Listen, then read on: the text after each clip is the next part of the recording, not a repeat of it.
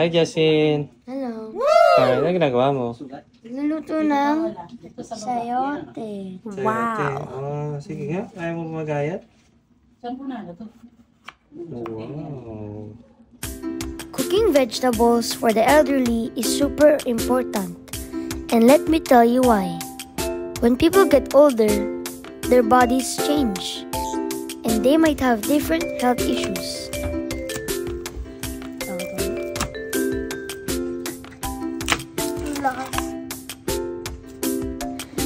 Vegetables are like superheroes for them. First, veggies are packed with vitamins and minerals that can keep the elderly strong and healthy.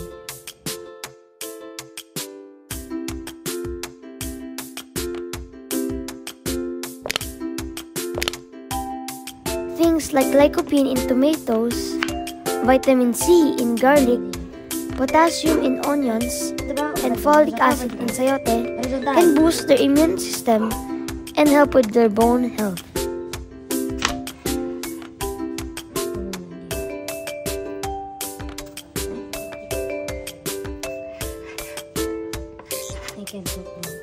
Second, vegetables are full of fiber, which is like a magic broom for their stomachs.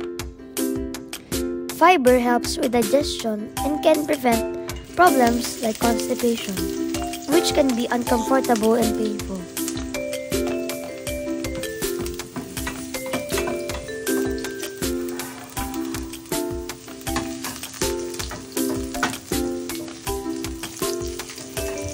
But that's not all.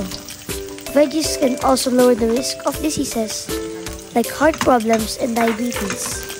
They're like a shield that keeps the elderly safe from these health issues.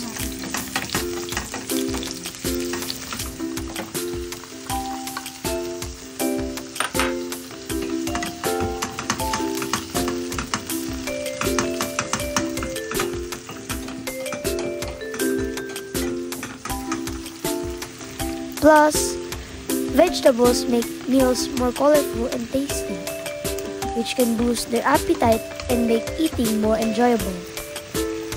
They deserve to have a delicious and nutritious food. In the end, cooking vegetables for the elderly is a way to show them love and care. It's a small effort with a big impact on their health and happiness.